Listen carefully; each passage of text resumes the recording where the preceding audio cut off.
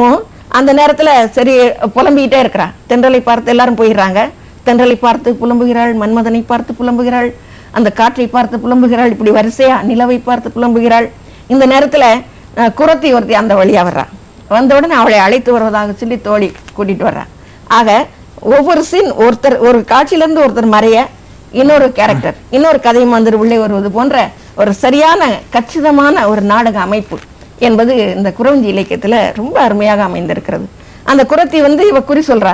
குறி சொல்லி யாரு என்ன அப்படின்னு தெரிஞ்ச உடனே அதுக்கப்புறம் அவன் பரிசல் கொடுக்குறா போயிடுறா.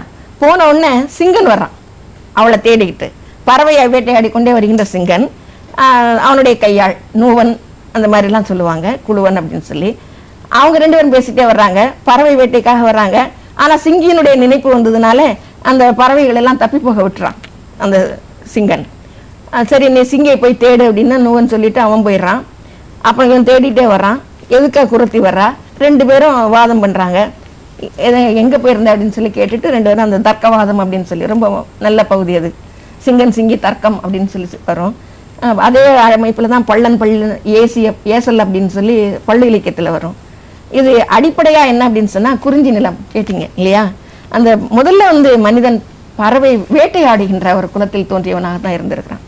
அந்த வேட்டையை அடிப்படையாக கொண்டு எழுந்ததுதான் இந்த இலக்கியம். இரண்டு நிலை. அந்த குறிஞ்சி நிலம் என்றால் மலைப்பகுதி. அந்த மலையினுடைய வளத்தை சொல்வது மலையினுடைய உரிப்பொருளான காதலை சொல்வது இந்த நிலையெல்லாம் அந்த குறவஞ்சியில் இருக்கும். இரண்டு பேர் காதல் அப்படின்னு சொன்னேன். ஒன்று ஆன்மீக உயர்ந்த பேரின்ப காதல் என்று சொல்லுறோமே வீடு பேரு இறைவனை நோக்கிய ஒரு ஒன்று. இன்னொன்று மானிட காதல். சிங்கன் சிங்கினுடைய காதல் மானிட காதல். அதே நேரத்துல வசந்தவல்லி என்று அந்த பாட்டுடை தலைவியாக வருகின்ற அந்த தலைவி கொள்கின்ற காதல் மிக உயர்ந்த காதல். ஒரு ஆன்மீகத்துல ரெண்டு வகையான நிலையை சொல்லுவாங்க. இறைவனை பற்றுவதற்கு ஒன்று குரங்கு நெறி இன்னொன்று பூனை நெறி அப்படின்னு சொல்லுவாங்க. இந்த பூனை என்ன செய்யும் அப்படின்னு சொன்னா அந்த குட்டிகளை எல்லாம் தானே கவி கொண்டு கவி கொண்டு சென்று ஒரு இடத்துல வைக்கும். ஆனா குரங்கு என்ன செய்யும் அப்படின்னா குட்டி தான் அதை போய் பற்றி கொள்ளணும். அது மாதிரி இந்த தலைவியாகிய அந்த குரங்கு குட்டி குரங்கு தாயாகிய அந்த இறைவனை தேடுவது என்ற அந்த உயர்ந்த நெறியை இந்த குறவஞ்சியில எடுத்து காட்டுகிறார். ஆக இந்த காதல் உணர்வு இரண்டு வேறு வகைப்பட்ட நிலைகளிலே மிக அருமையாக சித்தரிக்கப்பட்டிருக்கிறது அருமையான நாடகம் நடிப்பதற்கு ஏற்ற அந்த காட்சி வகைகள் இந்த குறவஞ்சி இலக்கியத்தில் இடம்பெற்றிருக்கின்றன. அதனால்தான் இந்த நாடக இலக்கிய வகை பல இடங்களிலும் நடிக்கப்பட்டிருக்கின்றது. மிகுந்த புகழுடையதாக இருந்திருக்கிறது. இன்றைக்கு கூட இந்த திருக்குற்றால குறவஞ்சி அழகர் குறவஞ்சி சோலைமலை குறவஞ்சி விராலிமலை குறவஞ்சி. அண்மையில் கூட நான் தொலைக்காட்சியிலே பார்த்து கொண்டிருந்தேன். பத்மா சுப்பிரமணியம் அவர்கள் விராலிமலை குறவஞ்சி நடித்ததை பற்றிய அந்த செய்தியை சொல்லிக் கொண்டிருந்தார். இப்படி பல குறவஞ்சிகள் அங்கு நடிக்கப்பட்டிருக்கின்றன. நல்ல காட்சி அமைப்பு அதற்கு ஏற்ற காட்சி அமைப்பு இருக்கின்றது. ஆனால் நீங்கள் சொன்னீங்க சாதி மத மொழி வேறுபாடின்றி அனைத்து மத மக்களும் ஆராதிக்கும் ஒரு கலையாக இலக்கியமாக இருக்கிறது இந்த குற்றால குறவஞ்சி அப்படின்னு சொன்னீங்க. உலை இழி விளிரி தாரம் அப்படின்னு சொல்லிட்டு ஏழு இசை வகைகள் சொல்லுவாங்க. இசைக்கு இசைக்கு இந்த குறவஞ்சி இலக்கியங்களில் வந்து எந்த அளவுக்கு முக்கியத்துவம் கொடுக்கப்பட்டிருக்கு? அதே மாதிரி அந்த இசையோடு தொடர்புடைய ஏன்னா காட்சிப்படுத்தல் வந்து ரொம்ப முக்கியம். படிக்கும்போது புரியணும் அப்படிங்கிறதுக்காண்டி. அந்த காட்சிப்படுத்தல் எந்த அளவுக்கு இதில் கையாளப்பட்டிருக்கு? ஒவ்வொரு நாடகத்திலையுமே ஆக்ஷன் அதாவது நடிப்பு சார்ந்த ஒரு பகுதி இருக்கும். பாடல் சார்ந்த ஒரு பகுதி இருக்கும். குழு பாடல் அப்படிங்கிறது கோரஸ் சாங்ஸ் அப்படின்னு சொல்லுவாங்க. அந்த கோரஸ் குழு குழு பாடல் என்ற முறையில் இருக்கும். நடிப்பு என்ற பகுதியில் இருக்கும். இப்போது நான் சொன்னது வந்து இப்போ பாட்டுடை தலைவி தோழி பந்தெடுத்து விளையாடுவது என்பது ஒரு ஆக்ஷன் அந்த ஆக்ஷன் ஒரு செயல். அந்த செயல் வருகின்ற போது அது க கவிஞரால் அந்த பாடல்கள் பாடப்படுகின்றன. செங்கையில் வண்டு கலின்கலின் என்று செயம் செய்யும் என்றாட. இடை சந்ததம் என்று சிலம்பு புலம்புட தண்டை கலந்தாட. இரு கொங்கை குடும்பகை வென்றனம் என்று குலைந்து குலைந்தாட மலர் பைங்குடி நங்கை வசந்த சௌந்தரி பந்து பயின்றாளே நகர்த்த திகர்த்த தகுத்த தம் என பந்தடித்தனளே. அதெல்லாம் சொல்கிறபோது அந்த பந்தினுடைய ஓசை இசை வருது பாருங்க. அழகா. டம் டம் டம் டம்னு தூக்கி. அதாவது பந்தாடுகிற போது நேராக தூக்கி போடுகிறது ஒரு வகை. அப்படியே கொஞ்ச நேரம் அப்படியே தட்டி தட்டி தட்டிட்டு தபார்னு அவங்க மற்றவங்க எதிர்பார்க்காத நேரத்தில் தூக்கி போடணும் அவங்க பிடிக்கணும். அந்த மாதிரி ரெண்டு வகையான இசையுமே அந்த அமைப்பில் இருக்கும். இந்திரையோ இவள் சுந்தரியோ மனமுந்தியதோ விழி முந்தியதோ கரமுந்தியதோ எனவே. அப்படின்னு அந்த மாதிரி வரபோது ஒரு வேகம். அந்த பந்து போகின்ற முறைப்படி அந்த நாடகத்தோடு இணைந்து வருகின்ற அந்த முறையை பார்க்கலாம். அதே நேரத்தில் நாடகம் என்பதற்கு ஏற்ப இவ வசந்தவழி புலம்புகிறாள். புலம்புகின்ற நேரத்தில் நிலாவை பார்த்து அல்லது மன்மதனை பார்த்து அல்லது தென்றல் என்னை வருத்துகிறதே என்பது போல பாடுவது. இதெல்லாம் வந்து தானாக சாலிலாக்கி அப்படிம்பாங்க நாடக தனிமொழி அப்படின்னு சொல்லி இன்றைக்கு நாடக இலக்கியங்களில் சொல்லுவோம். அது மாதிரியான ஒரு நிலையை இந்த குறவஞ்சி இலக்கியத்திலே நம்ம பார்க்கலாம். நிலாவை பார்த்து புலம்புகிறாள். தன்னமோதுடன் பிறந்தாய். வெண்ணிலாவே அந்த தன்னழியை ஏன் மறந்தாய்? வெண்ணிலாவே தன்னமோதுடன் பிறந்தாய். வெண்ணிலாவே அந்த தன்னழியை ஏன் மறந்தாய்? வெண்ணிலாவே பெண்ணுடன் பிறந்த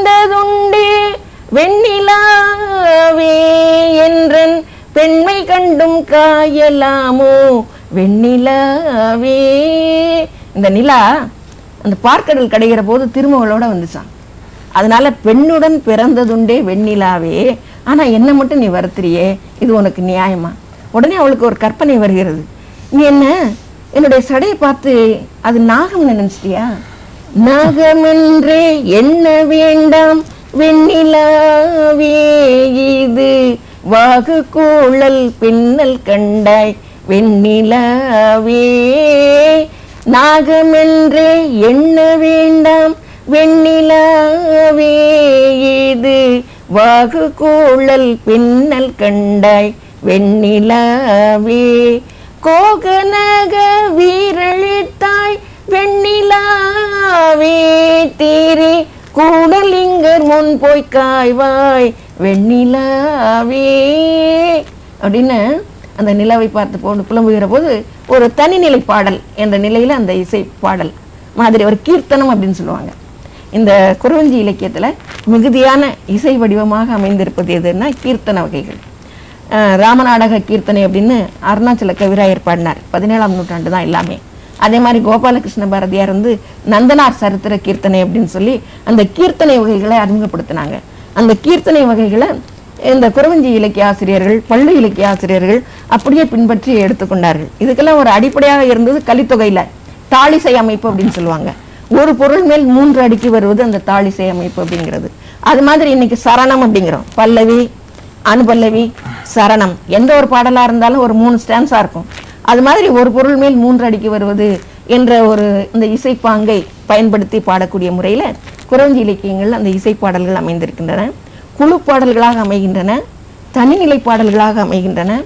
அதுக்கு பிறகு அந்த ஆக்ஷன் செயல்பாட்டை குறிக்கின்ற வகையில் கவிஞர் கூற்றாக அந்த பாடல்கள் அமைந்திருக்கின்றன.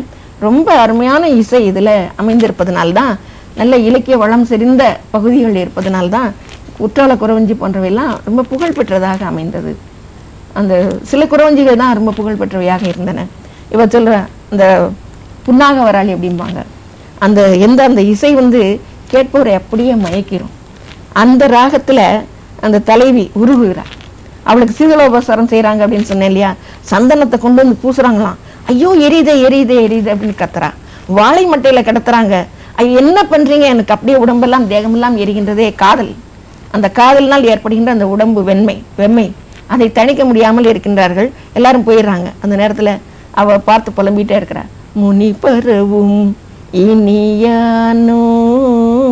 வேத முழு பலவின் கனிதானோ? கனியில் வைத்த செந்தேனோ? பெண்கள் கருத்துருக்க வந்தானோ? ஆகமெல்லாம் பசந்தேனே.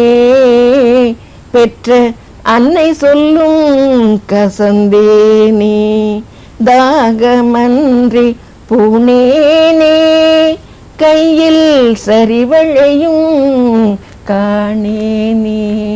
அப்படின்னு அதை கேட்டுட்டே இருக்கலாம் அந்த ராகம் பார்க்கிற போது. தாகம் ஒன்றி பூனேனே பசந்தேனே பசந்தேனே அப்படின்னு சொல்ற போது தேன் வந்து கொஞ்சம் மாதிரி மஞ்சள் நிறம். பசனை அப்படிங்கிறது மஞ்சள் நிறம். அந்த இருக்கிற நேரத்துல இருந்து கொஞ்சம் அந்த வெளிரி போகுது நிறம். நம்ம இருக்கிற நேரம் அப்படின்னு சொன்னானா நம்ம தெரியும் நம்ம வந்து என்ன நிறம் அப்படின்னு சொல்லி. அந்த நேரம் வெளிரி போனா ஒரு தேன் போன்ற ஒரு நிறம் வருமா?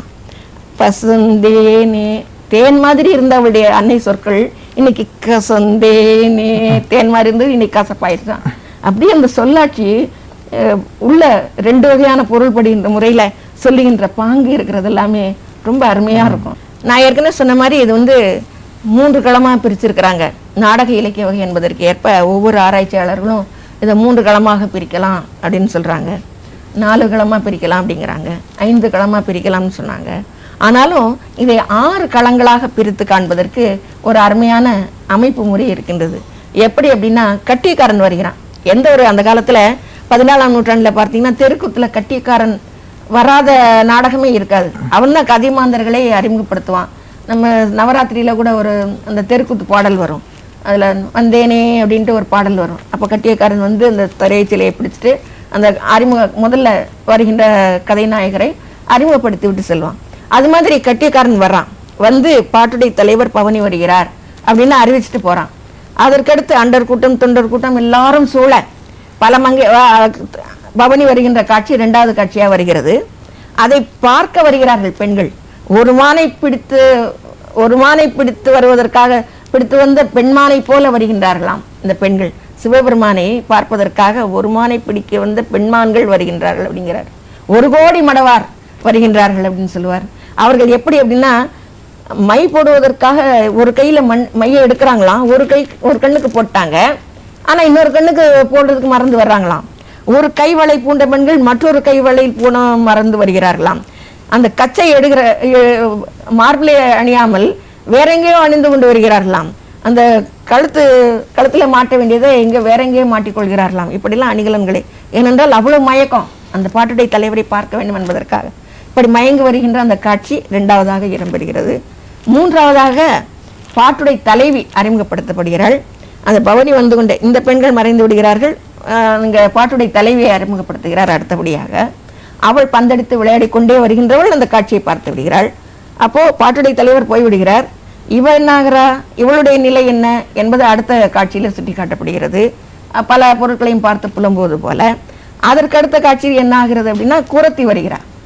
குரத்தி வந்து இவளுடைய கையை பார்த்து குறி சொல் குறி சொல்வாயோ அப்படின்னு சொன்ன உடனே இவளுடைய நோய்க்கு என்ன காரணம் என்று சொல் அப்படின்னு சொன்ன உடனே அவள் என்ன குறியாகிலும் நான் சொல்லுவேன் நம்மே சதுர் ஏறுவேன் எதிர்த்த பேரை வெல்லுவேன் நம்மே. மன்னவர்கள் மெச்ச குறவஞ்சை நானமே எந்தன் வயிற்றுக்கு இத்தனை போதும் கஞ்சி வரமே. கேட்க கேட்க தவிட்டாத இன்பத்தை அருளும் குறவஞ்சி இலக்கியம் தொடர்பான இன்னும் பல அரிய செய்திகளை தொடர்ந்து இந்த நிகழ்ச்சியில் பார்ப்போம் நேயர்களை.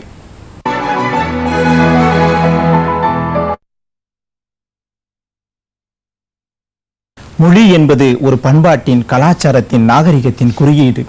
ஒரு மொழியினுடைய அழகும் ஆழமும் வன்மையும் மென்மையும் சீரும் சிறப்பும் வெளிப்படுவது இலக்கியங்கள் மூலமாகத்தான். உலக இலக்கியங்கள் முதல் உள்ளூர் இலக்கியங்கள் வரை அத்துணையுமே அல்ல அல்ல குறையாத வற்றாத ஜீவநிதிகள். திக்கெல்லாம் புகழ்பரப்பும் குற்றால சாரலை போலவே குறவஞ்சி இலக்கியமும் புகழ் பெற்றவை.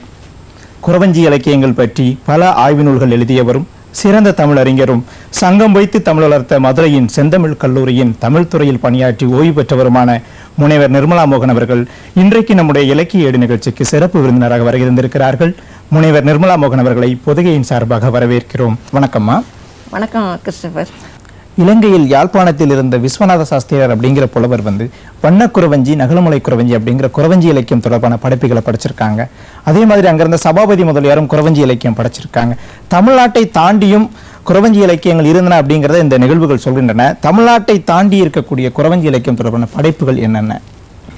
பதினேழாம் நூற்றாண்டிலே தோன்றிய அந்த குறவஞ்சி இலக்கியம் பெரும்பாலும் தமிழ்நாட்டினுடைய பகுதிகளை தான் மிகுதியான பகுதிகளில் தான் தோன்றியிருக்கிறது. தஞ்சாவூரை அடிப்படையாக கொண்டு திருவாரூரை காரைக்குடி மதுரை திருநெல்வேலி இந்த மாதிரி எல்லா மாவட்ட தமிழ்நாட்டை சார்ந்த அந்த அந்த பகுதிகளில் தான் மிகுதியான குறவஞ்சி இலக்கியங்கள் தோன்றியிருக்கின்றன.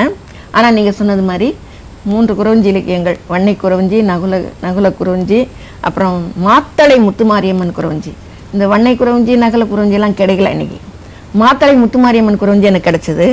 அதில் என்ன ஒரு சிறப்பு என்ன அப்படின்னு சொன்னான்னா எல்லாமே பாட்டுடை தலைவர்களை காட்டிக்கொண்டே வருகின்ற சிவபெருமான் பெருமாள் இயேசு கிறிஸ்து அல்லா இந்த மாதிரி எல்லா ஆண் கடவுளரை பாடி கொண்டே வருகின்ற முருகன் இந்த மாதிரி பாடிக்கொண்டே வருகின்ற அந்த காலகட்டத்துல ஒரு பெண் தெய்வத்தை பாட்டுடை தலைவியை பார்ப்பதற்காக ஆண்கள் வருகிறார்களாம் அது ஒரு வித்தியாசமான ஒரு அமைப்பு. மாத்தளை முத்துமாரியம்மன் குரவஞ்சி அப்படின்னு விஸ்வநாத சாஸ்திரியர் எழுதியிருக்கிறாரு.